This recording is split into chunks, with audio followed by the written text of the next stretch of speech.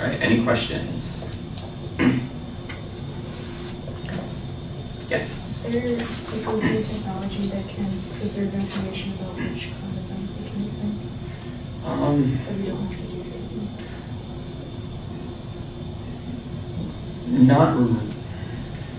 How se- so we're gonna have a whole other module on sequencing that you may or may not take, but the short answer to that is no.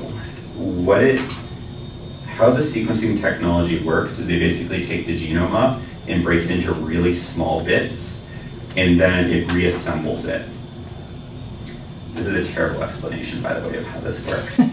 The answer is no, and the reason it's no is because it's actually really complicated how you read this genome, and you only read like 30 base pairs at once of, eh, 30 to 100, it's getting longer, but you would only like read out like this fragment of somebody's DNA, and then you try to match that DNA up to genomes that you do know, and you kind of see where they align, but you don't preserve the whole sequence um, when you do that, yes? So all the assembly is done computationally, like after you get all the reads?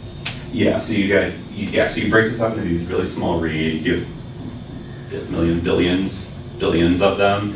There's tons of algorithms out there and huge like computers that all take these little pieces of information and reassembles it into a genome.